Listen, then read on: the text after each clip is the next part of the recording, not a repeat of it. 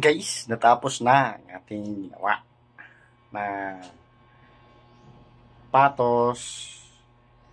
Lagyan natin ng repair, repair sapatos. Diyan.